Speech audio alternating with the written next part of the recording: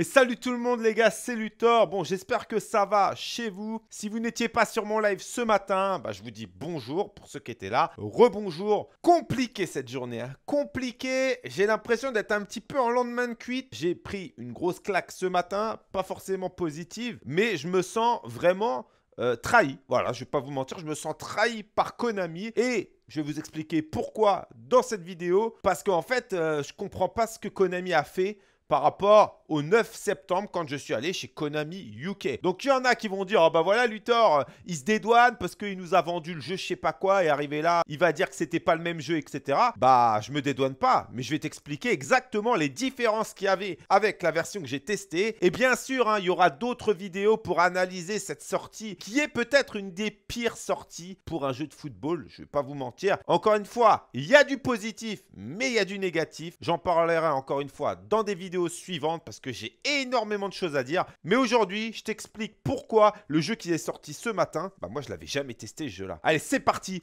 pour la vidéo.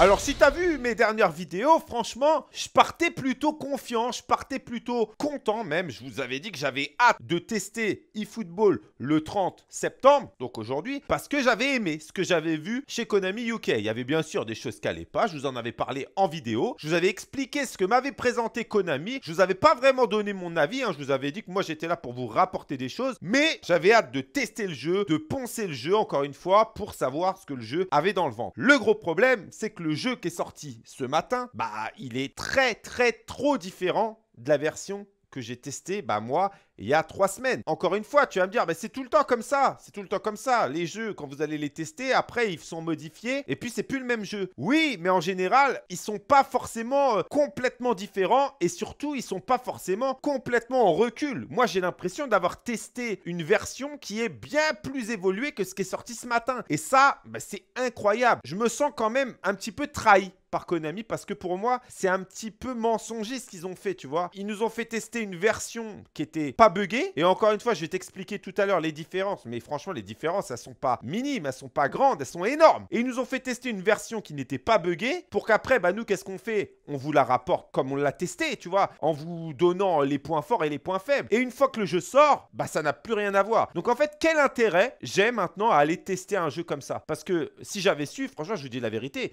j'y serais pas allé puisqu'il n'y a aucun intérêt finalement. Mes trois vidéos que j'ai fait chez Konami UK, je vous dis la vérité, on peut les mettre à la poubelle. Elles ont plus aucun intérêt puisque ça a rien à voir avec le jeu qui est sorti. Et ça, franchement, moi je suis fâché. Notamment parce que j'ai perdu du temps, mais en plus parce que j'aime pas passer pour un con, tu vois. Et moi, vous savez que je suis franc, je vous dis ce qui va, ce qui va pas. C'est ce que j'ai fait sur les trois vidéos, mais encore une fois, ça n'a rien à voir avec la vidéo d'aujourd'hui, avec le jeu d'aujourd'hui. Là, si tu es resté jusque-là, tu attends que je t'explique vraiment les différences. Il y en a, et tu vas voir qu'elles sont quand même très grandes. La première différence qui est pour moi incompréhensible, c'est au niveau du gameplay. Déjà, il y a plein de trucs qu'il n'y a pas. Dans la version que j'ai testée, j'avais le power shot, les passes courtes puissantes et les passes longues puissantes. Il nous avait dit, les passes longues puissantes, vous les aurez pas à la sortie, ça viendra en DLC, ça on le savait. Le problème, c'est qu'ils ont tout enlevé, même les passes euh, puissantes à terre, même les tirs puissants. Ce qui fait que le gameplay, bah, il devient beaucoup trop mou. Il n'y a plus aucune variété dans les passes et dans les tirs. Les tirs, ils ont tous l'air mous. Les passes, elles ont toutes l'air molles. Avec ces passes et ces tirs puissants, bah du coup, il y avait plus de variété. Déjà, bah c'était beaucoup mieux. Là, bah voilà, il n'y a aucune variété. C'est dommage. Et ça rend le jeu plat. Monsieur Quinton, il a dit un truc qui est très vrai. Il a dit, le jeu, en fait, il n'a pas d'âme. il a raison. Là-dessus, il a raison.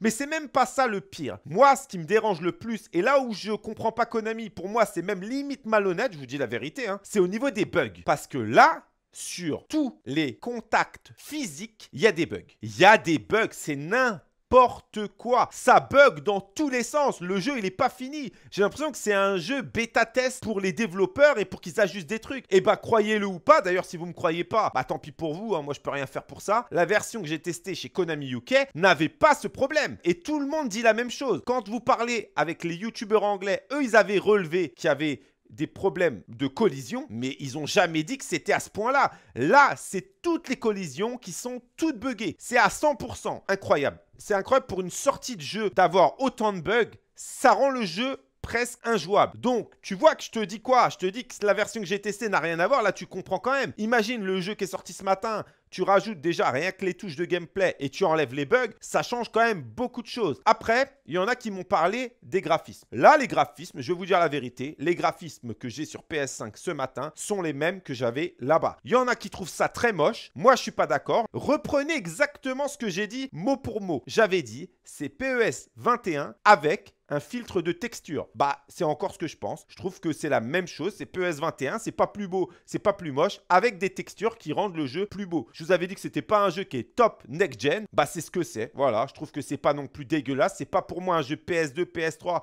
mobile. Ça, moi, je suis pas d'accord. Notamment, bah, sur tout ce qui est zoom, ralenti, les têtes, elles sont quand même bien faites. Après, ils ont toujours ces problèmes de bouche, mais ça, encore une fois, c'était la même chose. Donc, je suis là pour vous donner les différences et les similitudes. Autre similitude, au niveau de la pelouse, beaucoup la trouvent moche. Ça, je vous avais prévenu, les gars. Moi, je trouvais que ça avait un espèce d'aspect brocoli. C'est toujours la même chose. Après, est-ce que c'est ça qui fait que le jeu paraît moche pour certains? Je pense. Je pense qu'avec les mêmes graphismes, tu mets une belle pelouse qui paraît bien plus réaliste. Je pense que ça changerait pratiquement tout l'aspect. Malheureusement, c'est pas le cas. Donc vous voyez un petit peu mon état d'esprit. Encore une fois, si vous me connaissez, vous le savez, je vais pas cracher sur le jeu parce que pour moi, il y a des bonnes choses, mais il y a beaucoup de mauvaises choses et beaucoup de choses qui rendent l'expérience compliquée, très compliquée pour juger le jeu et je comprends tout à fait qu'il y en a bah, qui ont testé un match, deux matchs et qui suppriment parce qu'ils détestent. J'en suis conscient. Encore une fois, moi, dans mes futurs analystes, je vous dirai ce que je trouve bien et ce que je trouve pas bien. À l'heure actuelle, s'ils corrigent pas ces bugs, la sortie d'eFootball va être comparable à un Cyberpunk, un jeu